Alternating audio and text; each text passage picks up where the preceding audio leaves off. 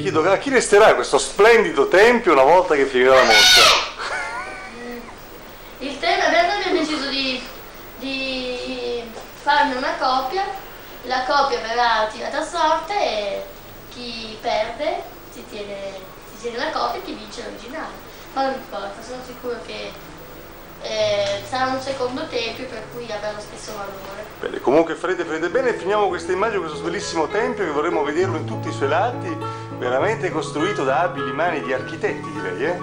Bene, giratelo, benissimo, bello, bellissimo, queste colonne un po' stortine ma è molto bello, veramente bello